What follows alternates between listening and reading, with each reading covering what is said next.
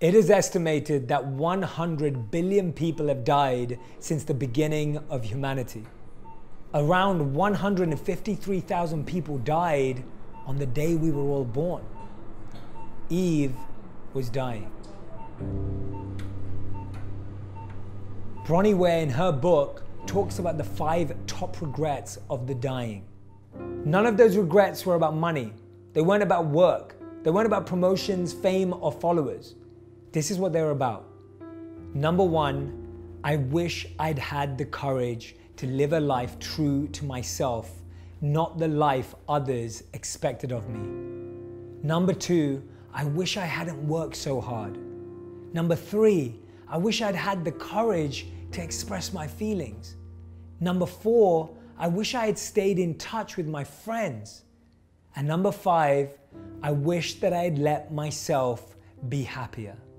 We die with regrets and wishes, a few hits but mostly misses. And I've heard Les Brown say that a graveyard is the wealthiest place in the world because that is where we can find all the dreams that were never lived, the books that were never written, the companies that were never found, the songs that were never composed, the words that never made sound all the hopes that were never fulfilled, the idea that was never launched, the movie that was never produced, the trip that was never taken, the product that was never used.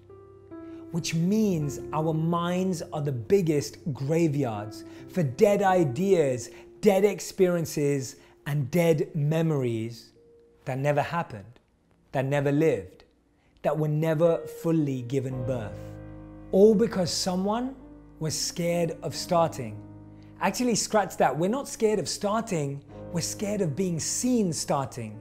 No one wants to be seen starting at zero. No one wants to be seen starting at the bottom. No one wants to be seen starting with nothing. See, no matter what we do or don't do, we will always be judged. If we just hang about, people will say that we're not proactive and we're not productive. If we talk about our big visions and start getting active, People will say we're too greedy or we're overworking. In all of our lives, we will face judgment either way, and that is why we need to live a life true to ourselves, not what others expect of us. See, people will always tell us to follow the rules, live inside the boundaries, and follow the norms. And that is why we don't need to work hard for others' priorities, but work for our own. See, we will always be told we're weak to say how we feel, that revealing your truth is too vulnerable or open. But that is why we must express our feelings. And see, there will always be disagreements, and there will always be distance, and there will always be arguments, and there will always be a number of reasons for disconnections. But we should stay in touch with those we love anyway. See, we will always be told to be more serious and focused, but we have to let ourselves be happier. We have to let ourselves laugh and let go.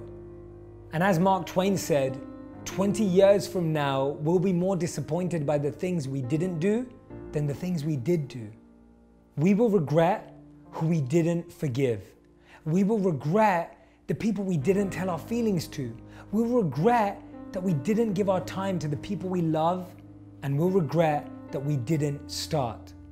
And even though you think Eve has all these regrets, and these are all her wishes flashing before her eyes, they're not. They're her memories, they're her experiences, they're her reality. See, she didn't have an illness. She didn't have a bad health situation. She didn't have a bad health condition. She didn't have any bad news. She valued life because she knew one day that she would die. And because the thing is, it's just a fact death never fails. Marcus Aurelius once said, Let each thing you would do, say, or intend be like that of a dying person. Let us prepare our minds as if we'd come to the very end of life. Let us postpone nothing. let us balance life's books each day. The one who puts the finishing touches on their life each day is never short of time, said Seneca. Eve lived as if she was going to die, and so she could die having truly lived.